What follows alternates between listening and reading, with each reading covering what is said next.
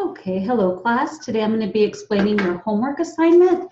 So if you open your books to page 170, lesson 26, you're going to continue it and you're going to write the briefs and phrases at the bottom of the page five times perfect each. So you're going to write lawyer, um, because of, you have had, that the. Okay? Do it five times.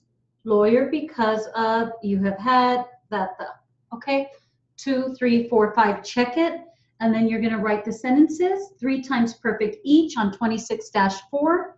You have the notes on the right side. So make sure that um, you look at your notes, they're right next to it.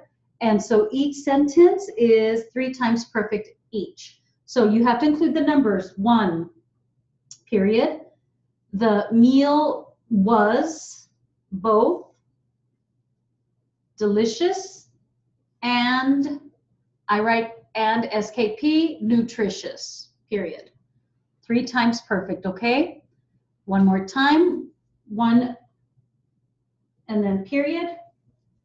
And then the meal was both delicious and nutritious, period. Okay, check it. And then again, one. The meal was both delicious and nutritious, period. Okay, three times perfect each sentence.